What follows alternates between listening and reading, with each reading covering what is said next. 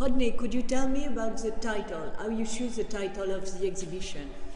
Well, I made a, I own a, a bakery with some friends in the studio, and I, I made a, a flower arrangement for the, for the for the bakery, and I texted it to, to one of the other one of the other studio people, uh, and and she, uh, you know, to see if she liked it. She said, "You should, it's great. You should be an artist," you know.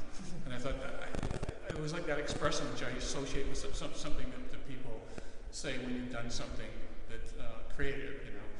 So I just thought it was kind of a funny, ironic title, and then it made me think about the um, the different artistic personas that I've kind of assumed in my work.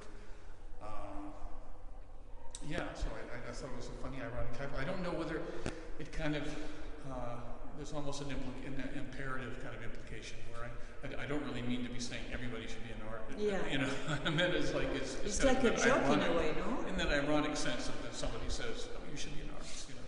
So, um, But the exhibition is very ironic. yeah, Not in a bitter way, but in a cool way. The, Um, the feeling is that you have a lot of fun doing your work. yeah, yeah. I mean, it, it was a way of exploring painting, something that I came to late, and it was, I, I can't ever really claim to be a painter because I think it's, it's a kind vocation really you start early with and you dedicate yourself to.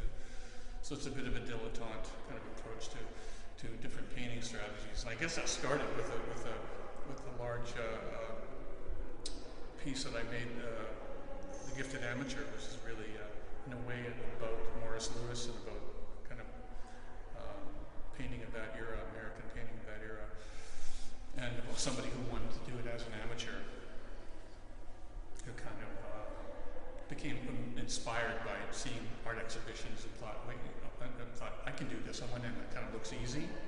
Uh, uh,